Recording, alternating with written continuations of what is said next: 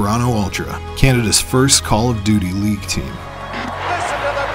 Ladies and gentlemen, has chosen a national landmark to call home. Play comes in with a hard left hook on the jaw.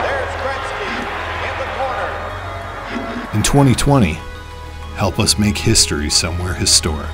ladies and gentlemen, Maple Leaf Garden.